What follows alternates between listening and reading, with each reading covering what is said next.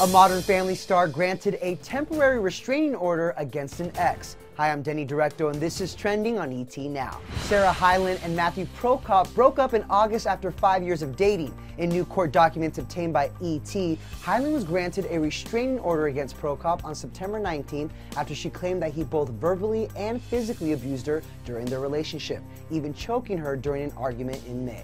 The 23 year old states, His grip was so tight that I could not breathe or speak. I was scared and in fear for my life. The court documents reveal that Sarah turned to TV mom Julie Bowen for help in leaving the relationship. In the court documents, Hyland also states that when she ended things with Prokop, he, quote, relentlessly bombarded me with vile, threatening, and emotionally disturbing texts and voicemails, including his own suicide threats. Prokop is an actor and even appeared in an episode of Modern Family in 2012. I'm Ethan. It's nice to meet you. Impolite dude, I don't know. Haley used to date that guy or something.